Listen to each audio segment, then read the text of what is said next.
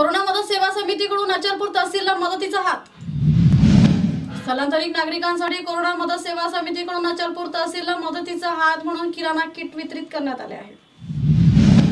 लॉकडाऊनमध्ये सतत तहसील प्रशासन सुद्धा आपल्या तहसीलमधील कोणीही गरजू उपाशी राहू नये म्हणून प्रयत्न करत आहेत. ठिकठिकाणी क्वारंटाईन केलेल्या सेंटरमध्ये तहसील प्रशासन भोजनाची व्यवस्था करत असताना ही मदत कुठे कमी पडणार नाही याची दखल घेऊन स्थानिक एनजीओ सामाजिक संस्था यांची मदत घेत आहे. तहसीलदार श्री मदन जाधव यांच्या मार्गदर्शनामध्ये तहसील चिखलदरानंतर तहसील कार्यालय अचलपूर येथे कोरोना मदत समितीने बहात्तर परिवाराकरिता मदतीचा हात पुढे केला आहे.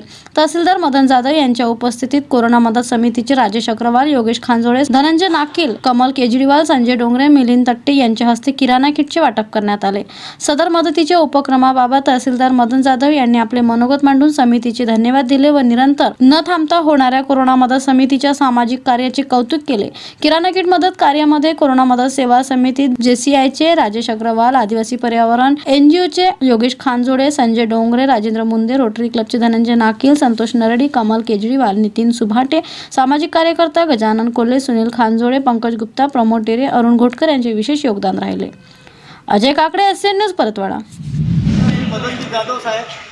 यांच्या नेहमीच्या सहकार्याने आपण आज अचलपूर तहसील कार्यालय इथे पोहोचलेलं आहे. गेल्या लॉकडाऊनपासून अचलपूर तहसील महसूल डिपार्टमेंट पोलीस प्रशासन आणि आरोग्य यंत्रणा निरंतरपणे आपल्या या कोरोनाच्या संघर्षसमयी अतुनात प्रयत्न करत आहे आपले गोरगरीब बांधव यांच्यासाठी कुठून ना कुठून ते मदत ॲडजस्टमेंट करून लोकांपर्यंत कुठंतरी आपल्या मतदारसंघातील आपल्या तहसीलमधील कुणी एक व्यक्ती उपाशी राहू नये.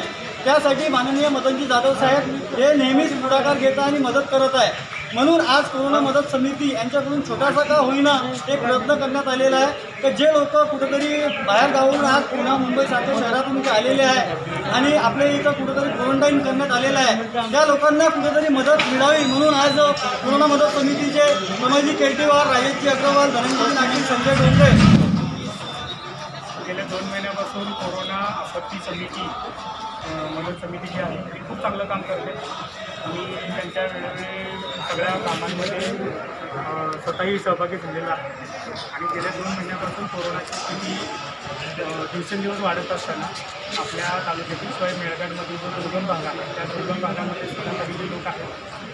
त्यांची इम्युनिटी पॉवर वाढवण्यासाठी सुद्धा काही गोष्टींची यांनी मदत केलेली आहे. आणि आता अन्नधान्य जी जीवनावश्यक भाग आहे त्याचीही मदत ते करत आहेत तहसील लेवलला काही लोक असे आहेत की त्यांच्याकडे रेशन कार्ड नाही किंवा कोणत्याही पद्धतीचे इतर साधन नाही जे बाहेरच्या राज्यातले आहेत. आणि इकडे मजुरीच्या निमित्तानं आलेले होते आणि ते इथं अडकून आहे अशी लोकांची काही आमच्याकडे. यादी येत असते की आम्हाला कोणत्याही पद्धतीची सुविधा नाही. तर आम्ही आमच्या तलाठी कोतवाल यांच्यामार्फत पहिल्यांदा ते चेक करून घेतो. की नक्की त्यांनी जे सांगितलेलं आहे ते बरोबर आहे का? त्यांना इथं कुठली मदत मिळत नाही का? आणि अशा